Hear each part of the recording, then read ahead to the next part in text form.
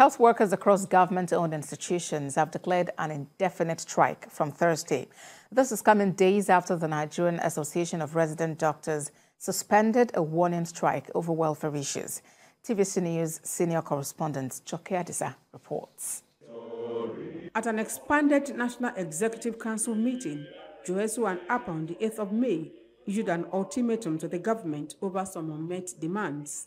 The deadline given to the authorities to resolve all pending issues has now expired, and the unions say they are left with no choice than to embark on an indefinite nationwide strike. Since the federal government is yet to meet these demands, our members have directed by the JOHESU National Executive Council that we should proceed on indefinite strike action upon the expiration of the ultimatum by midnight of 25th May 2023. I am based in Lagos and I can tell you the Tinubu antecedent has brought some level of progress, growth and development to Lagos.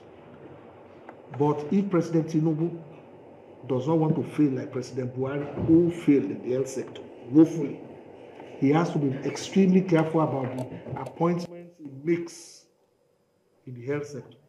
JOHESU and the Assembly of Healthcare Professionals accused the authorities of bias and nonchalance to matters concerning their members. Improved conditions of service, payment of withheld salaries of JOHESU members, and adjustment in retirement age from 60 to 65 years are some of their demands.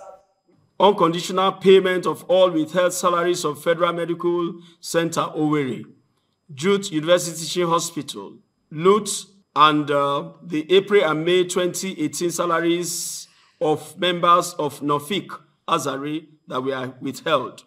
The most important thing there is that let there be better condition of service for health professionals.